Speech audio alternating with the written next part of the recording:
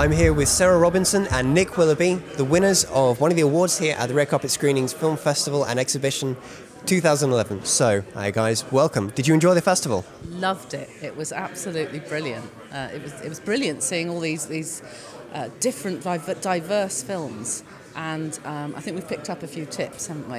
Um, yes. It's just um, a, a really exciting evening. Brilliant, brilliant. And Nick, what do you think about film festivals like this? Do you think there should be more around to give filmmakers a chance to screen their work?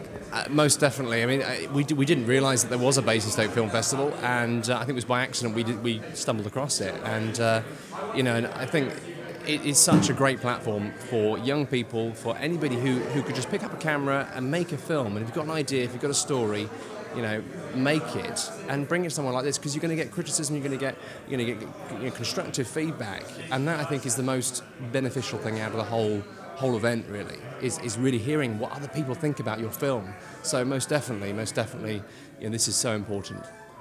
Excellent, fantastic. So, have you guys been working with a lot of other filmmakers in the area, or is this more of an introduction to meeting other filmmakers in the Basingstoke and North Hampshire area for you guys? It's definitely an introduction. We've we've worked with our, ourselves and our friends who've volunteered, with our families, with local children, and uh, it's it's really exciting finding out about so many other filmmakers and thinking how can we, you know, how can we get get new new ideas and, and new input and um, I'm, I'm really excited about the whole evening. Wonderful. And advice for other filmmakers just starting, or they want to get into this, or they want to be winning awards, they want to have screenings. What would you tell them? How would you advise them? Well, I mean, you know, if you've got an idea, if you've got a story, put it down. Make sure you've really got your story, you know, clear, and that you can you can put it across in a clear way. Um, and, and go out there. You can you can make a film with with with a you know with an iPhone now, and, and they've got these all sorts of methods and ways of making film. If you haven't got a camera, you know, find someone with a camera. You know, get them on, on board and, and go out there and make your film. Um, and as I said, you know, coming to places like this, you can get you can get ideas, you can get feedback, um, and show it to people.